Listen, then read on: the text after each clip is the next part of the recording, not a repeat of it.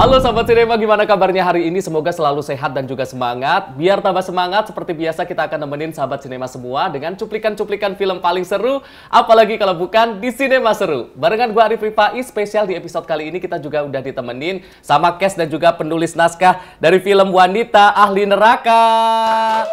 Ada Kak Asyira Zamita dan juga Kak Lele Laila. Halo, gimana kabarnya nih? Alhamdulillah. Sehat? Alhamdulillah, Alhamdulillah sehat. Selamat datang di Sinema Seru. Di sela-sela kesibukannya sudah eh, menyempatkan hadir untuk menyapa para sahabat sinema semua di rumah. Boleh kita sapa dulu sahabat sinema.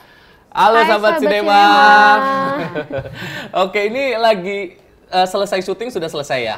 Udah. Kesibukannya apa nih? Iya, kalau aku aku lagi promo-promo film pastinya. Hmm. Terus juga karena aku ada job lain itu nyanyi. Oh, nyanyi Jadi aku juga. selalu mempersiapkan buat rilis mini album abis ini. Oke, keren. Kalau Kak Lele, aku manggilnya Kak Lele atau Kak Laila nih? Boleh dua-duanya apa aja boleh. Oke, ini lagi sibuk apa Kak? Lagi sibuk promo, Promo. pastinya sama nulis. Nulis, Apalagi. oke. Ya, setiap hari Aku- hanya menulis. Sebenarnya ini yang bikin penasaran nih kalau teman-teman lihat eh, sahabat sinema lihat ini kalau dari eh, bajunya ini kan agak serem banget kan wanita ahli neraka. Aku pengen ke Kak Lele dulu deh. Kak Lele ide awal nulis wanita ahli neraka ini kan serem banget kan ini dari judulnya. Sebenarnya eh, ide awalnya tuh jadi aku lagi membayangkan, Hmm. aduh bikin film horor kan banyak banget Iya. sekarang kan, terus habis itu apa ya yang mau hal yang baru gitu di film horor, terus habis itu sebenarnya ini udah keresahan lama sih, jadi kayak kita aku suka baca gitu bahwa ada satu kepercayaan katanya eh, di di neraka tuh lebih banyak wanita dibandingkan laki-lakinya Oh, iya, katanya iya, iya. gitu Karena kan. ada Terus hadisnya karena ada ya. hadisnya Hmm, bahwa hmm. karena ka- ketika kita kufur sama suami gitu, seorang istri, seorang wanita kufur sama suami. Terus habis itu eh, di lain kesempatan jadi kayak di saat itu tuh ada muncul pop up begitu di sosial media, terus muncul lagi pop up lain ada perempuan eh, yang kemudian di apa namanya mengalami kekerasan dalam rumah Oh, tangga, hmm, terus hmm, mengalami sesuatu yang mengalami neraka ketika Hmm, hmm, masuk hmm. ke sebuah pernikahan gitu Hmm, kan. hmm, Terus hmm. Abis itu aku akhirnya jadi mikir gini, apakah mungkin kita tetap, apakah benar wanita akan masuk neraka Hmm. ketika kufur sama suami? Gimana kalau menikah yang tadinya adalah eh, kuncian masuk surga, Hmm, ibaratnya hmm, tiket hmm, masuk hmm. surga, tapi kita nikah sama penghuni neraka. Suaminya ini Iya, agak suaminya tuh suaminya agak, dajjal agak kayak gitu ya. ya kayak dajjal terus eh, perempuan tuh harus milih apa ya menjadi penghuni neraka nanti Hmm. karena eh, melawan suaminya atau menjadi atau jadi penghuni neraka di dunia gitu. Oh, Jadi kayak itu semua berawal dari eh, what if gitu membayang-bayangkan hmm, itu hmm, dan akhirnya kayak wah lama-lama dibayangkan wah serem juga ya kalau kayak aku masuk ke dalam sebuah gerbang pernikahan Hmm. yang menjadikan gerbang aku masuk neraka Hmm, gitu. hmm, hmm. Bah- bah- harusnya yang pernikahan itu jadi kunci kita menuju surga, tapi justru Iya. karena menikah dengan orang yang salah. salah nah jadi gitu. Oke. itu semua berawal dari situ sih terus berkembang berkembang jadi banyak hal Hmm, hmm, hmm. Kalau Kak Cila, ini panggilannya Kak Cila ya Iya, ininya? benar. Kak Cila di film Wanita Ahli Neraka ini perannya sebagai siapa sih? Terus karakternya gimana sih ini?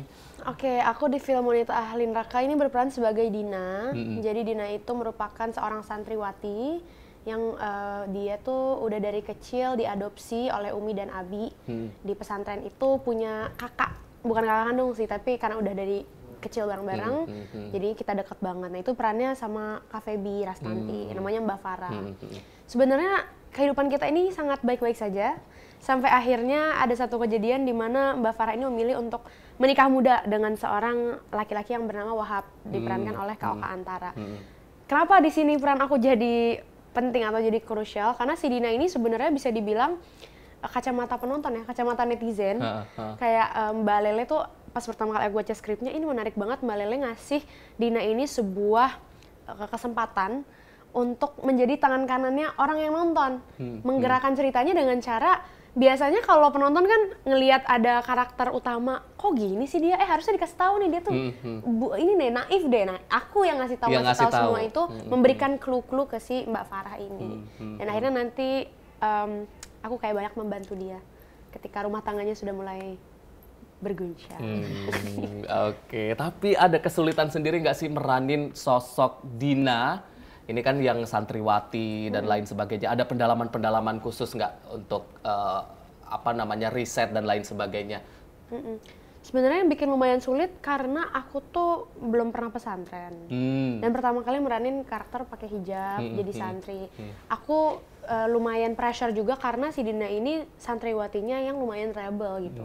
Dia agak keluar dari zona konservatif Hmm. yang kental sekali di ini santri Hmm, itu. Karena Dina ini lumayan terpapar sama dunia luar lah dengan sosial media, dia Hmm. cultured bisa dibilang itu.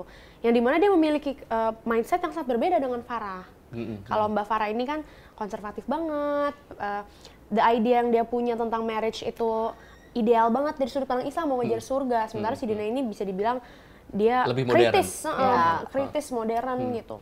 Dan jadi akhirnya aku selalu nanya terus sih ke Om Echa, Farisa telah coba sebagai sutradaranya, Om gimana ya caranya biar karakter Dina ini tetap mm, oke, realistis ya kata Mbak Lele selalu bilang Dina ini karakter realistis ada santriwati seperti ini di dunia nyata, tapi tetap nggak menghilangkan esensinya sebagai seseorang yang harus berbakti dan menjadi muslim yang baik gitu. Hmm, hmm, hmm, hmm. Ya basically dia adalah representasi dari santriwati kritis yang ada di luaran sana sih. Jadi itu mungkin susahnya. yang sebenarnya dibutuhkan lah itu tadi kacamata penonton untuk mengingatkan si Farah si main cast-nya itu yang Iya. agak-agak naif gitu ya. Betul, benar banget. Naif lihat surga dan neraka. Oke, kalau Kak Lele, Kak Lele eh, boleh diceritain nggak sih secara umum ini nih film wanita ahli neraka ini ceritanya secara umum aja deh. Sebenarnya secara umum ini cerita tentang seorang perempuan yang takut sekali masuk neraka gitu dan dia sudah punya bayangan bahwa kayak dia punya motivasi tersendiri dalam hidupnya. Siapa sih yang nggak punya motivasi buat masuk surga? Kita semua kan juga punya motivasi untuk masuk surga gitu. Tapi salah satu motivasinya dia adalah kita bisa masuk surga lewat sebuah eh, kepatuhan dia sebagai seorang istri gitu. Nah, terus habis itu ada seorang laki-laki dia calon kepala daerah. Hmm. Terus habis itu datang ke tempatnya Farah itu dan kemudian kit saya butuh pendamping gitu kan untuk menyempurnakan eh, Separuh agamanya. separuh agama dan menyempurnakan perjalanan dia dia butuh pendamping itu. Akhirnya dengan motivasinya Farah itu Farah langsung kayak eh, meminta sama uminya saya saja buat dan semoga ini jadi jalan tiket saya buat masuk surga Masuk tadi surga. gitu. Hmm, Tapi ternyata pernikahan itu adalah gerbang dia untuk merasakan eh, keseraman-keseraman berikutnya dan seperti neraka di dunia gitu. Dan akhirnya sepanjang perjalanan cerita ini Farah kemudian si karakter bersama teman-temannya, bersama uminya dituntut untuk kayak mencari eh, jawaban sendiri apakah mau menjadi eh, penghuni neraka di dunia eh, karena menunggu neraka karena takut sama neraka yang belum tahu nanti ada di mana itu atau kayak kan kalau ahli kan kalau dalam Islam kan artinya eh, penghuni ya Hmm, ahli hmm, wanita ahli hmm. neraka tuh wanita penghuni, Penghuni neraka. neraka. tapi kalau kemudian kita lihat lagi ahli juga bisa jadi berarti kompeten kan Hmm, apakah dia akan jadi penghuni neraka atau dia kompeten untuk menghadapi nerakanya di dunia Dan itu nanti yang akan kita temukan jawabannya di film Keren. ini. yes Tapi kalau untuk pemilihan-pemilihan cast-nya ini Kak Lele yang ikut ngasih saran-saran atau memang Iya, pasti. itu diserahkan ke sutradara? Sebenarnya penyerahan penuh ke sutradara dan ke tim produksi, tapi pasti kayak sepanjang kita misalnya lagi ngobrol Hmm, gitu, pasti ada kayak, "Nih kebayang Wahab siapa ya?" gitu. "Oh, Wahab tuh harus gini-gini." gitu. Hmm. Terus habis itu Dina, Dina eh, kayak gimana ya? Terus ininya jadi lebih kayak ngasih saran aja tapi nggak nyebut eh, nama, Nama dan aktornya ya, gitu tapi ya. kayak Ha, ha. aku kemarin udah sempat ngintip filmnya kayak wah Udah- udah sesuai ekspektasi. Kok curhat? sudah sempat ngintip ya yang Ah, tapi ah, belum belum ah. jadi utuh gitu kayak alhamdulillah insya Allah Sesuai ekspektasi. Insya Allah yang penting eh, pesannya dan apa ya visi misinya tersampaikan. Tersampaikan. Oke, kalau untuk meranin Dina ini pernah ada tanya-tanya ke Kak Lele juga nggak sih? Ini maunya gimana sih Dina gitu? Nah kebetulan kan waktu itu kita belum pernah ketemu secara langsung ya Kalele ya, jadi kita selalu lewat perantara. Paling eh, aku ngenut aja, misalkan ke beberapa tim gitu, ke Astrada atau ke sutradara, mau dong nitip ke Kak Lele, kayaknya kalau Dina gini gini lebih enak deh. Atau Kak Lele sebenarnya maunya hubungan ter- terutama eh, korelasi antara Dina dan Farah dan juga keluarganya dia gitu, yang di mana sebenarnya tidak kandung itu kan. Ini mau sedalam apa hubungannya? Dan aku juga sempat akhirnya memberikan saran kayaknya si Dina sama Farah ini harus lebih dikuatin minimal tambahin satu scene lah gitu. Terus akhirnya benar ditambah biar motivasi aku untuk me- apa, effort menyelamatkan Farah itu lebih kuat. Hmm, hmm. Intinya ini penyelamat Farah ya, bisa dikatakan adik dan juga bestie, kacamata penonton juga. Ya. Ya, birds of a feather lah kita stick together banget. Oke, oke. Kita nanti akan lanjut obrolan kita terkait dengan gimana keseruan-keseruan di balik layar. Sahabat sinema jangan ke mana-mana, usai jeda kita akan kembali lagi. Tetaplah bersama kami di Sinema Seru.